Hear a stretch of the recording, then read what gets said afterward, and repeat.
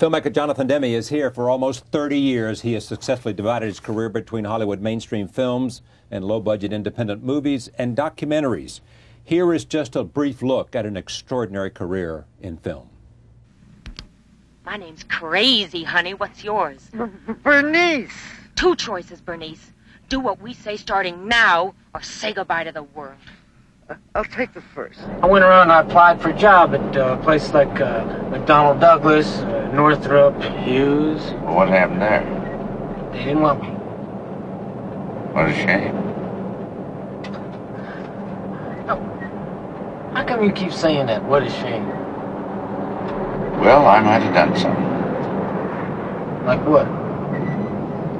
Ah, it's always showtime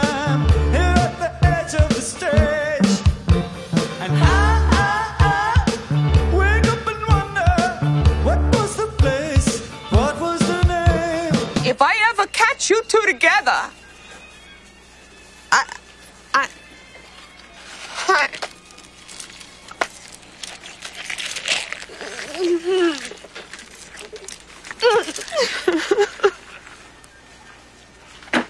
Just forget about it. Try keeping Tony on a leash. I think you'll find one in aisle five. What became of your lamb, Clarice? I killed him. You still wake up sometimes, don't you? You wake up in the dark and hear the screaming of the lamb. Yes. So let's just get it out in the open. Let's let's let's get it out of the closet. Because this case is not just about AIDS, is it? So let's talk about what this case is really all about. The general public's hatred, our loathing, our fear of homosexuals. What might your name be?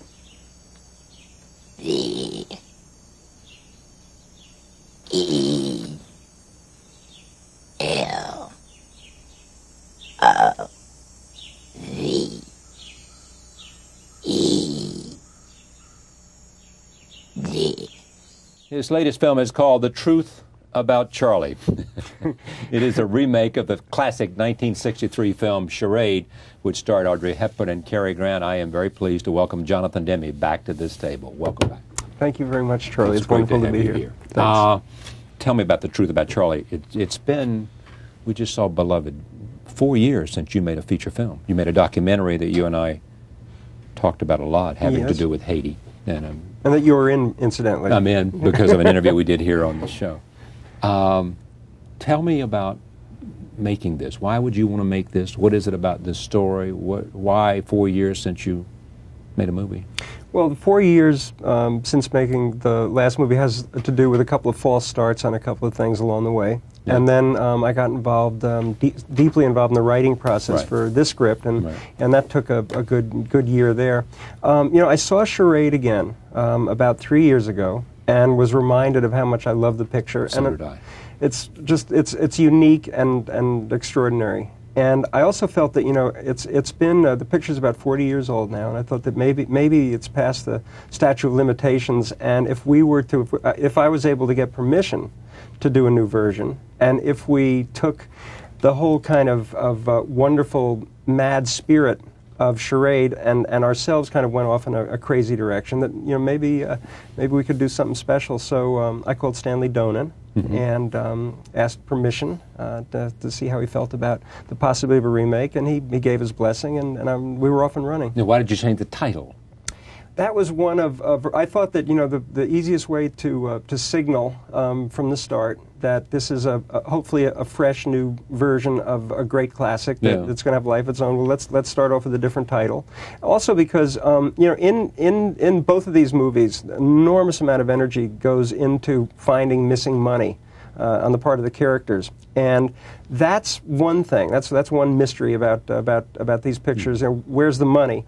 But the the uh, I want people to think about who killed Charlie, Thandie Newton's husband, Right. and why did they kill him? Because there's a whole other very interesting dimension of, of the picture that, uh, that that plays to that.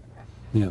Yeah, When people know you, I mean, just think about all the movies that we just saw, and they think about Philadelphia, or they think about Silence of the Lambs, or Caged Heat, or all the films. They always want to say, "How can a man so gifted not want to do an original work?" rather than even if it's a classic? And the answer to you is what? Charlie, I feel that our, our remake of Charade is highly original. Yeah. I really do. Um, uh, it's as simple as that. You know, it's we we're very inspired by a great picture, and we took off in our own wacky direction. Right. And I think we've come up with a very, very original film that's based on a, a great uh, previously existing movie. You spent a lot of time on the script yourself. Yeah, it, it was uh, it was interesting because uh, due to the fact that we started off working with Peter Stone's screenplay in the first place for the original um, movie, Right. um, I, I just had tons and tons of ideas about where I felt this should go, and um, I spent there was a moment when Paul Thomas Anderson was going to write the script, which I was Yeah. very excited about. I would be too, We're friends, I know. Yeah. He got the idea for Punch Drunk Love, so Yeah. so I just decided I was going to dive in and and, uh, and work on the script myself, and I teamed up with Steve Schmidt, and uh, we had a, a, a blast. All right, let's take a look at some scenes. This is where uh, Regina, played by uh, Thandie Newton, meets uh, Joshua, played by Mark Wahlberg, outside an air- the airport in Paris. Here it is. I'm gonna ask you something real quick and make it like ripping off a band-aid, okay? Go ahead. Is there a Mr. Regina? Not for long. Your ride didn't show? Yeah. It's par for the course, I'm afraid. We need a hand? Yes. Yes, that would be great. Thank you. Uh, tell me about casting and, and how you, with a director's eye, uh, knowing the significance of casting, looked at these two. Well, Thandie Newton um, play, was the title character in Beloved. Right. And um, she is absolutely as gifted an actor as I've ever worked with.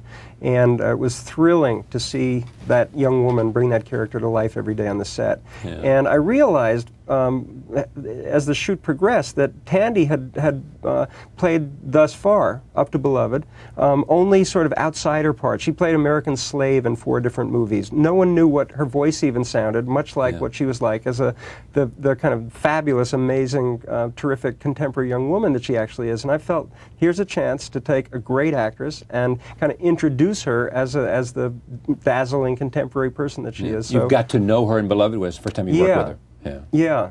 And how about Mark Wahlberg? Now, Mark Wahlberg was uh, suggested um, early on by Universal Pictures. Um, they were very excited about Mark. He was filming uh, Planet of the Apes at that point, and um, consistent with, with the need to, much less the desire to, move as much away from the Cary Grant approach uh, to the part as possible. that's far um, away. Mark rang a bell because it, it's true. He's a very kind of street smart boy next door, complicated, edgy, fascinating young man. And I felt that we could um, really take a whole fresh approach and not try to duplicate um, the, the magic um, on any level that uh, Charade has with their two leads. I know it's a stupid question, but why have we?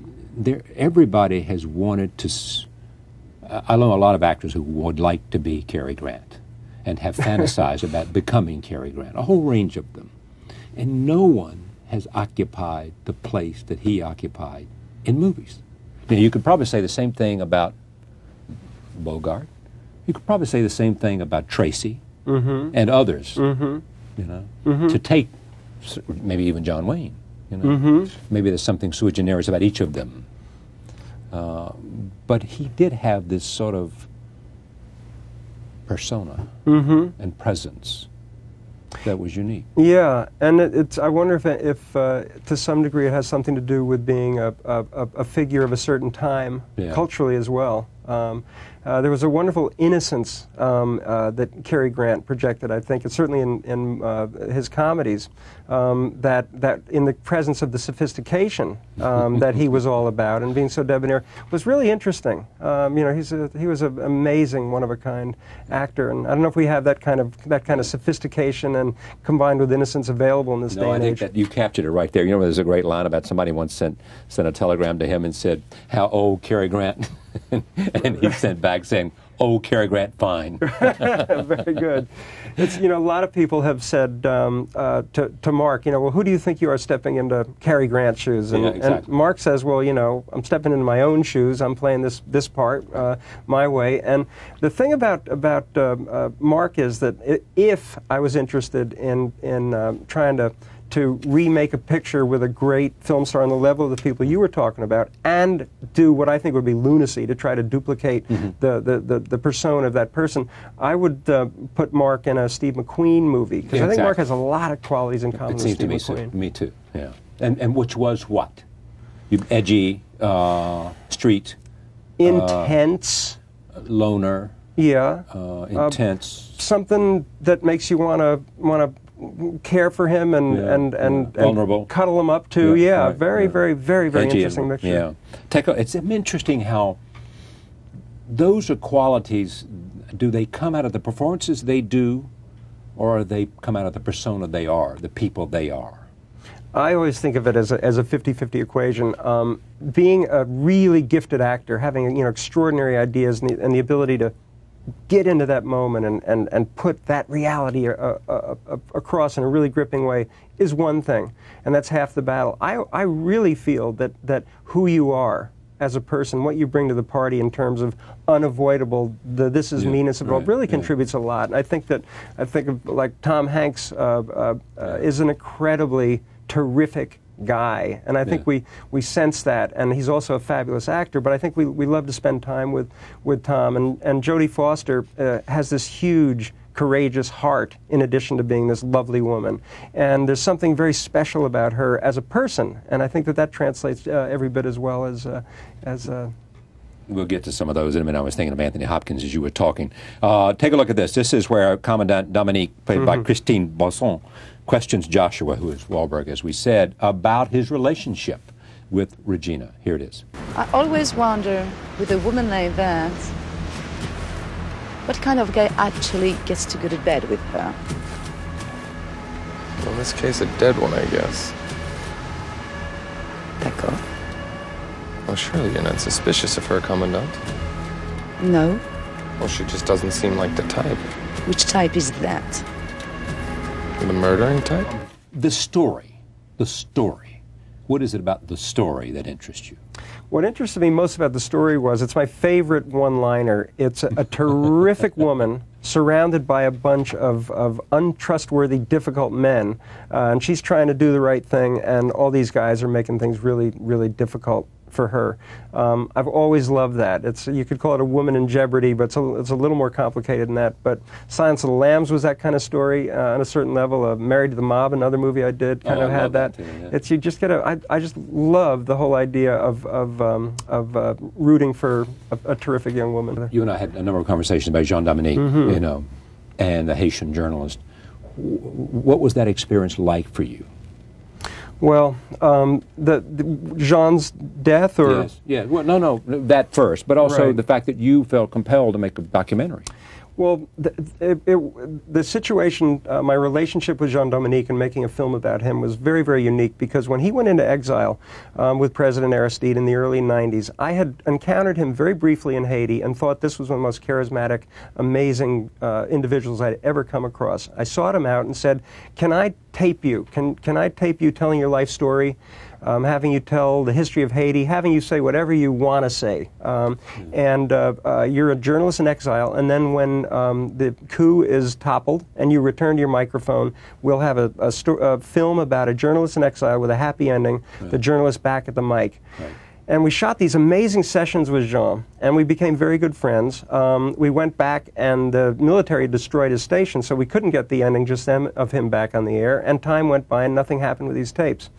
When John was murdered on April 3rd, 2000, um, I realized that uh, you know I had this stuff, and I, I sort of had a, a, a commitment and a need to kind of prove that I wasn't kidding myself about making a film about the man. So I went down to Haiti um, and filmed the station going back on the air with his wife now lead at the microphone, the extraordinary Michelle Montas, and uh, we shot a bunch of stuff, and and we're just finishing editing the movie, and we've showed it at a couple of film festivals as a work in progress, and have discovered that Jean really is the world class guy I always knew he was. That people. You can feel and see the power of the man. Yeah, and you you are in this film twice, Charlie. Once when you interviewed Jean during the coup, Right. and then later when you reported on his death.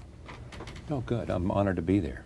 Uh, and so, when will that be available? It'll be completed sometime over the next couple, three months, and we'll start hopefully showing it at film festivals. With documentaries, you never know what's going to Okay, happen. but that's. I'm getting to that too. That diversion, because you started, because you were intrigued by an individual, and then the, the tragedy of the country and what happened to him and his own kill, assassination, that led you to. How does, how does it make you feel about documentaries? I love documentaries, um, but I, I love them both as a as a consumer. Me too, Um, yeah. I love to to learn something that someone's had some passionate interest in, made a film about it. Now they're they're sharing uh, their feelings on this stuff. I just love them. Uh, and I love to make them too. And there's always this funny dichotomy with um, making documentaries on the one hand and, and fiction films on the other hand, because with um, fiction films, you're trying to often trying to make them feel as real as possible. And with the documentaries, you're kind of trying to take the footage that you've got and dramatize them as much Yeah. as possible. And for me, I think that the experience kind of helps fertilize my work in, in, in both those areas. Where do you put Silence of the Lambs among the films you've made? Um, well, as as I'm, ju- I'm the lucky duck who got to direct uh, the movie based on on Thomas Harris's brilliant, brilliant novel, and had the the great good fortune of having that amazing cast: Jodie Foster, Anthony Hopkins, Ted Levine, who's also in Truth About Charlie. Um, it it was I just uh, was very very lucky, Charlie, to be I've there. never understood why you didn't want to make Hannibal. Thomas You Harris. looked at the script. Um, uh, I read the book, Right. and Thomas Harris um, took those characters in such a bold, different direction from what I had expected. I, I had been expecting something very formulaic. Um, I, I had my own idea of what Thomas Harris was going to write, and I was ready to do that. And when I saw this very dark, startling vision of, of where Clarice went and how she fi- figured into Dr. Lecter's life, The I thought. obsession she had be- beyond just catching a criminal. Well, just that, yeah, just it was, it was, um, uh, uh, I, it was just a journey. I, I've, I called Tom up and I said, you know, I'm, I'm kind of heartbroken after reading this amazing new book of yours because I've, I've, we've, we've lost Clarice. And, and I felt that, uh, that because of this loss of Clarice, that uh, I just, it was a journey I couldn't take. And, and Tom um, said, uh, uh, not lost for good necessarily, Jonathan. Don't think of it as lost, but rather away. so Lord knows what Where he's going to go. You bet. Uh, okay, but let me what was it that he did with her that you didn't like Um, in Hannibal? you know, gosh, I, I there were things, and it wasn't that I didn't like so much that, that really upset me. You know, as a as a because you got to realize that, that I'm I'm sort of in love with Clarice Starling. Yes, I see. and I even have a, a rather strange friendship with with uh, Dr. Lecter. Yeah. Um, but um, I just I hated seeing Clarice so fallen from grace um, and so so outside. You know, with all the aspirations and uh, that that we saw in her as a trainee and a recruit at the FBI, to see that she had within that bureaucracy fallen so low. And Yeah, but I thought she was unfairly victimized by that. I thought, weren't you? well, certainly, but but and again, you know, it just it, it made me sad. It Yeah. made me sad, and and um, I didn't feel I was the right guy to, to take that so, trip. but but the you know what the conventional wisdom is? It was too violent. You didn't like the violence. Mm, uh, That's the conventional wisdom, not that you somehow what happened to Clarice left you sad. No, I, gosh, gosh, I wasn't offended on any level by, by Thomas Harris's book Hannibal at all. Yeah. Um, so the this- violence. uh, it- Did you like the choices at the end? I mean, you know what happened at the end. Um, I was shocked. Weren't you? I was. I think Thomas Harris shocked himself. you did. Well, did they, they actually changed the ending from the book. Um, I haven't seen the picture. Oh, Um, come on, Jonathan. Why haven't you seen the picture? Um, well, did, uh, go ahead, tell me. I mean, Maybe it has a little bit to do with, with at the moment. I've, I haven't seen Red Dragon yet either. And, you know, the day will come when I'll see these movies. But, you know, I, I, I live in my own little Clarice, I Dr. do. Lecter dream world. I know you do. I know you do. Well, I mean, so you'll choose at some point. You'll sit down and watch it. Oh, sure, inevitably. Right. Yeah, and and it, it's you know it's fascinating and really interesting to me to see what has become of of uh, of uh, the ongoing sagas and the revisiting of the early days and what have you. Yeah. As good as Julianne Moore is, And you know, she's great and she's in great. everything. God, this was they're, they're just that relationship. It's I It's of feel like great, it's it's it, it's you know it's one of the greatest sort of pairings of conflict between two characters in movies. well I agree and I, I, I again I just can't tell you how lucky I feel to have been Yeah. there when it all unfolded. You know what the name of her first son is? Charlie. Very good. And it has nothing to do with with with any Charlie I know. But Right. I think she just likes the name. Uh, it, but who doesn't? Yeah, exactly. By the way, you know, in, in, in our The movie, Truth About Charlie, yeah. uh, we've got Charles Aznavour Yes. um, singing a song, and we show a clip of an early Charles Aznavour movie, the, the brilliant Truffaut picture, Shoot the Piano Player, where his Yeah. character was called Charlie. Yeah. So Charlie's all over this thing. Oh God, I can't wait. All right, I can't wait. So I have not seen his movies. Jonathan knows simply because of time, and I look forward to seeing it. He is uh, someone that I admire enormously for reasons that he knows, and someone who has brought really special, a special sensitivity to the craft of making movies. Uh, Jonathan Demme, thank you, my friend. Thank you, Charlie. Great to have you here. Thanks a million. Again, The Truth About Charlie, it opens nationwide on October 25th. And it's very funny. And it's very funny. like its director. Uh, thank you for joining us. We'll see you next time.